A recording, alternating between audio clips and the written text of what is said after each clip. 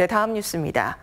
청주 예술의 전당에서 올해 충북 미술대전 입상작 전시회가 열리고 있는데요. 무기수의 후회와 반성이 담긴 문인화가 대상을 수상해 눈길을 끌고 있습니다. 진기훈 기자입니다. 흐릿하면서 진하게 한 획 한 획 정성이 실린 붓끝에서 탄생한 새우들의 역동적인 움직임이 시선을 사로잡습니다. 작가는 지난 1995년 무기징역을 선고받고 10년째 청주교도소에 복역 중인 박근선 씨입니다.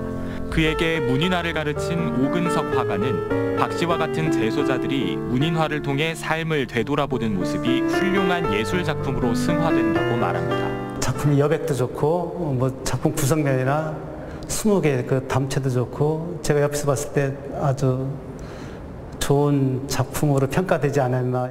올해로 44회를 맞은 충북 미술대전에선 이처럼 사연을 가진 작품부터 독창적인 시도로 감동과 재미를 선사하는 작품들을 만나볼 수 있습니다.